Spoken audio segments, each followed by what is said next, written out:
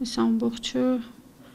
խնդիրներ են, հա, մի օրում Ամեն օր մի քանի տասնյակ զանգեր ու նամակներ է ստանում Լիաննան արցախցիներից։ Բռնագաղթած իր հայրենակիցներն ասում է, երբեմն անորոշությունից, երբեմն անտեղյակությունից փակ շղթայում են հայտնվում, երբ խոսքը աջակցության ծրագրերի կամ կենսաթոշակի ու նպաստի մասին է։ որ պետք է քայլ առ քայլ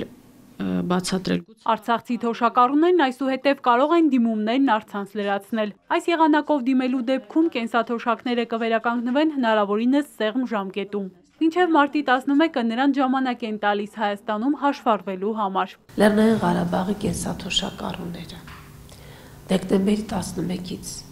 մինչև մարտի 11-ը 3 ամսվա ընթացքում դիմելու դեպքում կենսաթոշակը նշանակելու ենք, վճարելու ենք հոկտեմբերի 1-ից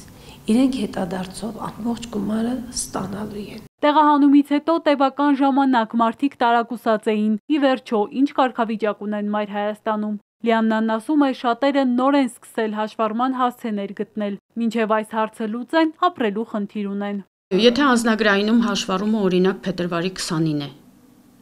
հիմա է տվյալ անձը թոշակառու է կամ նպաստառու է, ինչ անի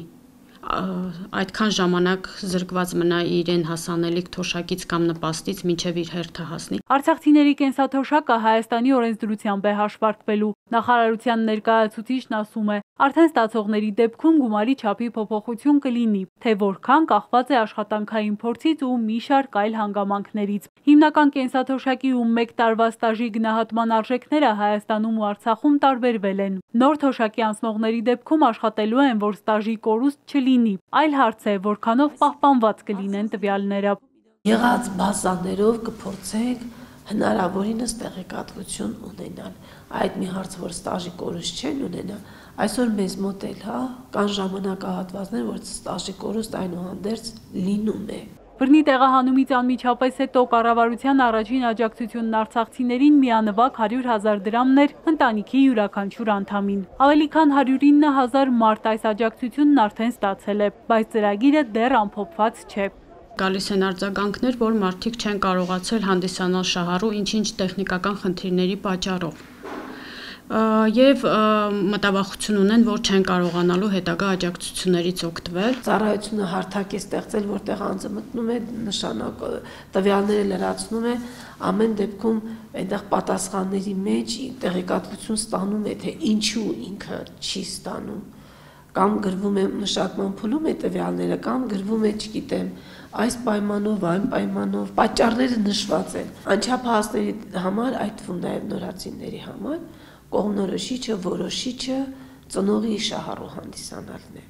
Հրատապ ծախսերի ծրագիրը դեռ ամփոփված չէ, բայց գործադիրը եւս երկու փաթեթ է առաջարկում տեղահանվածներին։ 40000 բնակվարցի պլյուս 10000 կոմունալների գումար 6 ամսով են ստանալու շահառուները եւ 50000 երկամսյա աջակցություն։ Սրանք նույնպես պարզվում է դժվարությամբ են հասնում հասցեատերերին։ Եթե օրինակ հարս է եկել Արցախ, հարս է գնացել Արցախ ինչ որ մեկը, այնտեղ տարիներ շարունակ ապրել է, այնուամենայնիվ ինքը քանի որ ունի, ասենք հայրական տնից ինչ որ մի փոքր չափաբաժին, ամբողջ ընտանիքը զրկվում է այդ աջակցությունից։ Ֆիլտրեր ունի ծրագիրը բացատրում է աշխատանքի եւ սոցիալական հարցերի նախարարության ներկայացուցիչը։ 104820 արցախցի է հոկտեմբերին օգտվել բնակվարձերի ու կոմունալների աջակցության ծրագրից։ Նոեմբերին շահառուների մի մասին են վճարել։ Մյուսները շուտով կստանան եւ արդեն կսկսվեն դեկտեմբերի վճարումները։ 6000 շահառու նոեմբերից արդեն բնակվարձերի աջակցությունը չի ստանա։ Առաջին ֆիլտրը վերաբերում է պետական եւ համայնքային սեփականություն հանդիսացող տարածքներում ժամանակավոր բնակվող անձինք Հայաստանի Հանրապետությունում մինչև 2023 թվականի սեպտեմբերի 19-ը հաշվառված անձինք եւ հյուրանոցներում եւ հյուրատներում բնակվող անձինք։ Նրանք չեն հանդիսանում ծրագրի շահառու։ Այն շահառուները, ովքեր ունեն Հայաստանի Հանրապետությունում բնակության համար նախատեսված անշարժ գույք, նրանք չեն օգտվում, այսպես ասած 40000 դրամ աջակցությունից կացության կազմակերպման համար, այլ օգտվում են կոմունալներից, այո։ Այս ընթացքում իրենց անտեսված ու արհամարված են զգում 44-օրյա պատերազմից հետո տեղահանվածները։ Բնակվարձի փոխհատուցման գումար չեն ստանում։ Սոցիալական աջակցության գրեթե բոլոր ծրագրերը նրանց համար ավարտված են։ Բնակարանների հարցն էլ օթում է։ Հերմինե Ղարիբյան, Սիմիկ Մայիլյան, Էպիկենտրոն։